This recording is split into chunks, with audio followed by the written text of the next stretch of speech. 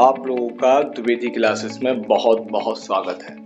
तो अब हम लोग पढ़ेंगे सेल थ्योरी। सेल थ्योरी बहुत ही सिंपल है और याद करने में भी आसान है। सबसे पहले मैं सेल थ्योरी पढ़ाने से पहले कुछ इंट्रोडक्शन की चीज़ें हैं जो आपको बता दूँ। ये चीज़ें जो मैं बताने वाला हूँ, इनको आपको समझना है अच्छे से। याद करने की बात जो है रिमेम्बर करने की बात जो है, वो थोड़ी देर में आपको बताई जाएगी। तो सबसे पहले यहाँ देखेंगे सेल थ्योरी के बारे में। Introduction Selden observed the large varieties of the plant, and the tissue and found all of them were composed of the cell. Selden जो थे, जैसे आपको पहले बता दिया है पिछली वीडियोस में सेल्डिन जो थे वो वैज्ञानिक थे। उन्होंने ऑब्ज़र्व किया, निरीक्षण किया। लार्ज वेराइटीज ऑफ़ प्लांट बहुत सारी वेराइटीज के प्लांट को उन्होंने ऑब्ज़र्व किया, बहुत सारे प्लांट को लिया, और फिर उनको निरीक्षण किया। निरीक्षण करके उनमें देखा कि क्या है, क्या नहीं है, उन्हें क्यूरियोसिटी थी इस बारे में कि आखिर ये प्लांट किस तरीके से बनते हैं। कौन सी ऐसी चीज़ है जो इतने बड़े बड़े प्लांट को बना देती है और एक छोटा सा प्लांट किस तरीके से बड़ा होता चला जाता है और बहुत ही बड़ा हो जाता है? तो कौन सी ऐसी चीज़ें हैं जो प्लांट को बनाती तो यही सारी क्यूरियोसिटीज की वजह से उन्होंने प्लांट का अलग अलग तरीके से ऑब्जर्वेशन किया अलग अलग प्लांटों के टिश्यू का ऑब्जर्वेशन किया। तो उन्होंने सेल्डिन ने बहुत सारे वेराइटीज के प्लांट का ऑब्जर्वेशन किया एंड टिश्यू का and found of all them and found all of them were compose of the cell और उन्होंने एक बात कॉमन देखी, वो क्या थी? कि ये सबके सब सेल से मिलकर के बने हुए थे। एंड फाउंड फाउंड का मतलब होता है उन्होंने पाया ऑल ऑफ़ देम उनमें से सभी बर कंपोज ऑफ़ द सेल सब किस चीज़ के मिलकर के बने थे? सेल से मिलकर के बने थे। ही कॉन्क्लूडेड दैट उन्होंने निष्कर्ष निकाला। अब ये बात उन्होंने जब देखी, सारे के सारे जो प्लांट हैं, उनके टिश्यू जो है, वो सेल से मिलकर के बने हुए हैं। तो उन्होंने एक निष्कर्ष निकाला। क्या निष्कर्ष निकाला? Cell are ultimate and the basic unit that form the structure of the plant tissue cell जो है, वही एक ऐसी यूनिट है जो प्लांट को बनाती है और उससे छोटा प्लांट को बनाने वाली कोई भी और यूनिट नहीं है।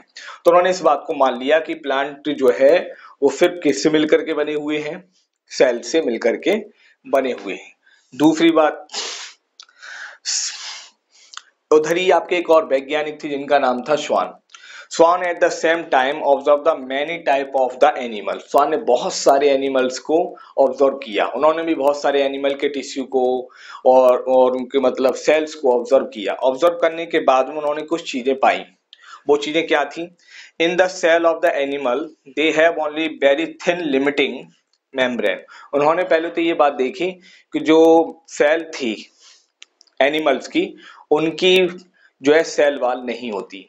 ये उन्होंने देखा। साथ में देखा कि उनके ऊपर सिर्फ़ एक क्या थी? सेल मेम्ब्रेन थी, जिसकी भी एक सीमा थी। Which we call today as the plasma membrane उसी सेल मेम्ब्रेन को आज हम लोग प्लाज्मा मेम्ब्रेन के नाम से जानते हैं। दूसरी बात Schwann found that interior of both the animal and the plant were almost the same Schwann ने यह भी देखा जो इंटीरियर था, किसका? प्लांट का और एनिमल सेल का।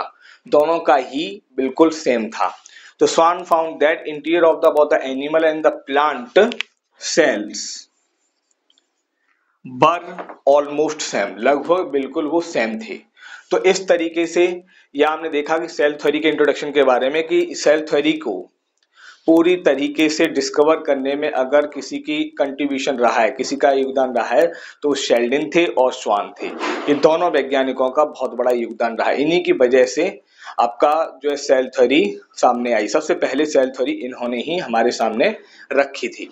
तो फ़िलहाल हम यहाँ पर बर्ड मीनिंग सेशन में आप देखेंगे कि क्या क्या किसका क्या मतलब है। सेल्डिन तो नाम है ऑब्ज़र्व निरीक्षण किया लार्ज माने होता है बहुत। वेराइटीज होते हैं, प्रकार प्लांट पौधे टिश्यू होते हैं आपके उत्तक हिंदी में उत्तक पढ़ते हैं, पर इंग्लिश में से टिश्यू पढ़ते हैं। टिश्यू टिश्यू को हिंदी में पढ़ते हैं उत्तक अच्छा इंग्लिश में अगर इसकी डेफिनेशन दी जाए टिश्यू की तो group of cell known as tissue सेलों का ग्रुप ही आपका टिश्यू कहलाता है। फाउंड मतलब पाया। ऑल ऑफ़ देम उनमें से सभी। वर मतलब थे। कंपोज ऑफ़ सेल सेल के बने हुए। मतलब वो सारे के सारे टिश्यू सेल से मिलकर के बने हुए थे। दूसरी बात ही कॉन्क्लूडेड उन्होंने निष्कर्ष निकाला।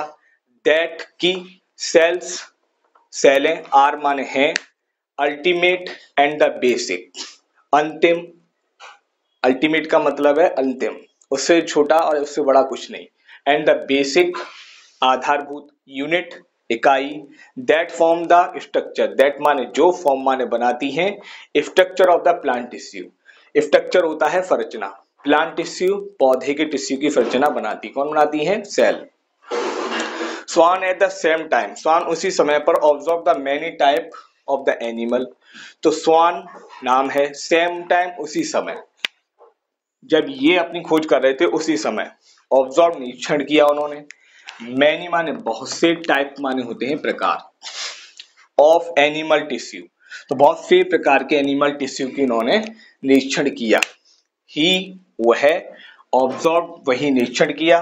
देयर वहाँ इज़ नो सेल वाल उन्होंने देखा कि उनके अंदर कोई सेल वाल नहीं थी। इन द सेल सेल के अंदर ऑफ़ एनिमल किसके सेल के अंदर? एनिमल के सेल के अंदर। दे हैव ओनली उन्होंने देखा दे हैव ओनली दे माने बे हैव माने रखते हैं ओनली माने केवल वेरी माने होता है बहुत। थिन लिमिटिंग थिन माने होता है पतली लिमिटिंग मेम्ब्रेन एक सीमा में मेम्ब्रेन रखते हैं। मेम्ब्रेन जो लगी होती है ऊपर, वो भी एक सीमा में होती है। Which we call today as plasma membrane आज हम उसको मॉडर्न समय में उसका नाम दे रखा है हमने प्लाज्मा मेम्ब्रेन आज हम उसे प्लाज्मा मेम्ब्रेन के नाम से बुलाते हैं. P L A S M A M E M B R N A Schwann found Schwann ने पाया. क्या पाया? That interior of both the animal plant animal और प्लांट का जो इंटीरियर होता है. एनिमल और प्लांट सेल का जो इंटीरियर हिस्सा है, अंदर का जो हिस्सा है वर ऑलमोस्ट सेम बिल्कुल, लगभग वो बिल्कुल कैसे थे, ज़्यादातर ऑलमोस्ट का मतलब होता है ज़्यादातर। सेम मतलब समान। ज़्यादातर उनके अंदर के जो हिस्से थे, वो समान थे। तो इस तरीके से आपका इस सेल थ्योरी का इंट्रोडक्शन हो गया। अब हम देखेंगे शेल थ्योरी के बारे में।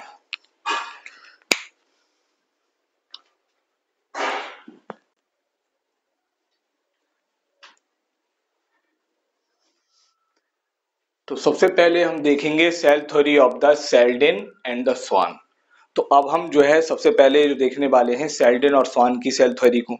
उसके बाद में आपका मॉडर्न सेल थ्योरी है। वो भी हम इसी वीडियो की सीरीज़ में देखेंगे। तो फ़िलहाल हम देखते हैं कि सेल्डिन जो थे और स्वान की थ्योरी जो थी सेल की, उसमें उन्होंने क्या क्या पॉइंट दिए थे। क्या क्या मतलब मुख्य बातें थी। सबसे पहले all living beings are the compose of the cell सबसे पहले बात तो ये क्लियर हो जाती है कि सारे के सारे लिविंग बींग जो हैं, वो सेल से मिलकर के बने होते हैं। दोनों ने ही ये बात को कंफर्म किया। कैसे कंफर्म किया? वो आपको थोड़ी देर पहले बताया था मैंने। उन्होंने बहुत सारे प्लांट का ऑब्जर्वेशन किया, बहुत सारे प्लांट का निरीक्षण किया। दूसरी बात cell is the smallest unit in which life can exist cell ही एक छोटी सबसे यूनिट है जिसमें लाइफ एग्जिस्ट करती है। ये बात भी इन्हीं के सेल थ्योरी से सामने आई।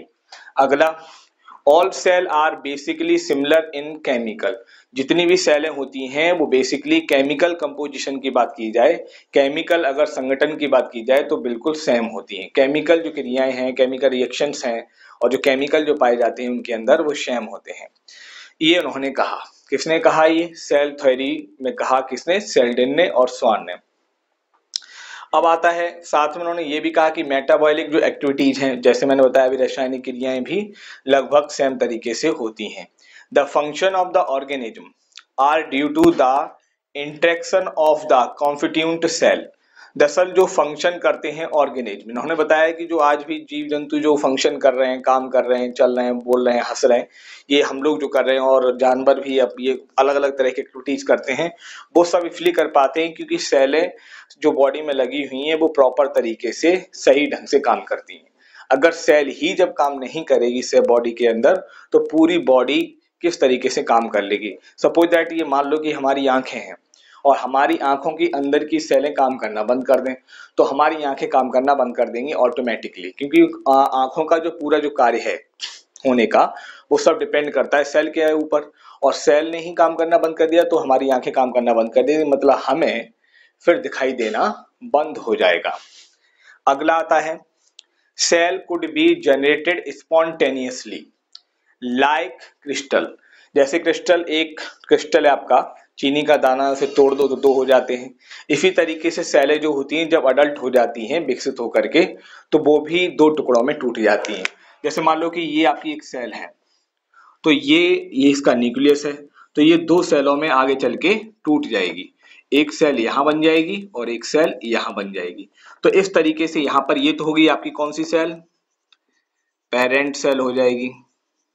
और ये आपकी हो जाएँगी डॉटर डॉटर सेल और ये भी आपकी हो जाएगी डॉटर सेल तो इस तरीके से क्या है कि क्रिस्टल की तरह ये टूट जाती हैं। अब जैसे क्रिस्टल के कई सारे टुकड़े हो जाते हैं, ऐसे सेल के भी हो जाते हैं जो आप पढ़ोगे आगे चल के। Multi cellular multi cell division पढ़ोगे, और सिंगल सेल डिवीज़न पढ़ोगे बाइनरी डिवीज़न पढ़ोगे मल्टीपल फिजन पढ़ोगे, ये सब एक ही नाम है। जब आप इनको पढ़ोगे तो सही से आपको ये जानकारी में आ जाएँगे। Cell could be generated spontaneously like crystal तो ये बात यहाँ से क्लियर हो जाती है। थोड़ा बड़ मीनिंग सेशन में कुछ बड़ मीनिंग देख लेते हैं। लिविंग बिंग सभी को मालूम है, जीवित प्राणी होता है। इसका मतलब होता है जीवित प्राणी। ठीक है? लिविंग बिंग का। Composed of the cell cell से मिलकर के बने होते हैं। सेल से मिलकर बने होते हैं। ठीक है? अगला स्मॉल लेफ़्ट यूनिट सबसे छोटी इकाई। सबसे छोटी इकाई। अच्छा एग्जिस्ट का मतलब होगा अस्तित्व।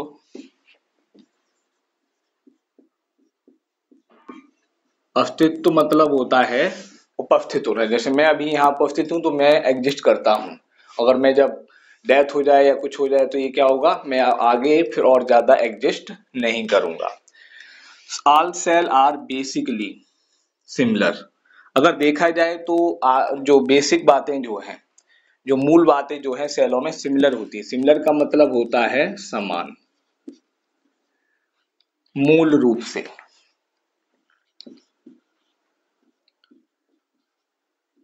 ये इसका मतलब हो गया बेसिकली का।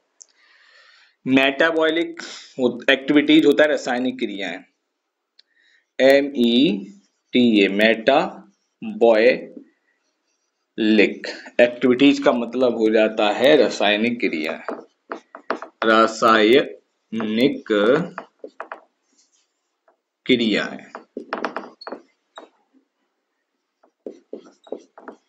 ठीक है तो ये रासायनिक क्रियाएँ हो गया। Function of the organism function होते हैं कार्य। Function of the organism are due to due to मतलब होता है के कारण। ड्यू टू का मतलब होता है के कारण। Due to. ड्यू टू का मतलब क्या होता है? के कारण।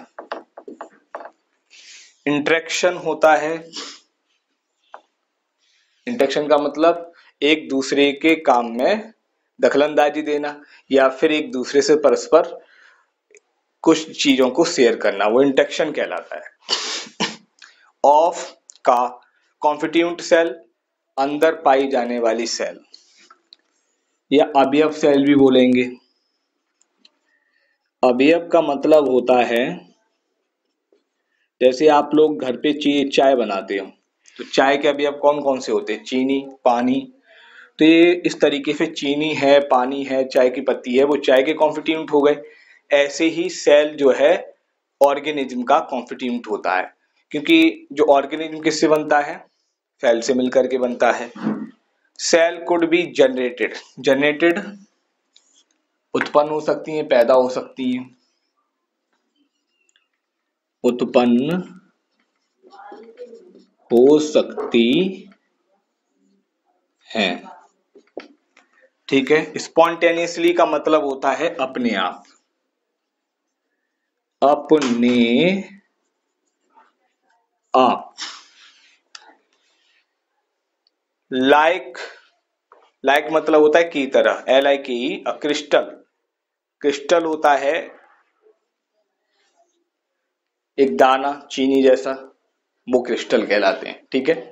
तो ये तो आपका बर्ड मीनिंग सेशन हो गया। बर्ड मीनिंग में जो भी, बर्ड मीनिंग आपको डिफ़िकल्ट लगे हैं, मुझे लगे, आपको लग सकते हैं, वो मैंने लिख दिए। कुछ बर्ड मीनिंग फिर भी अगर रह गए हैं, उनका मतलब तो मैं नहीं समझ में आ रहा है तो आप यहाँ से ये कॉपी करने के बाद में आपकी जो डिक्शनरी है उससे ढूंढ सकते हैं। ठीक है? आगे की चीज़ें आगे की वीडियो में देखने को मिलेगी। Thank you.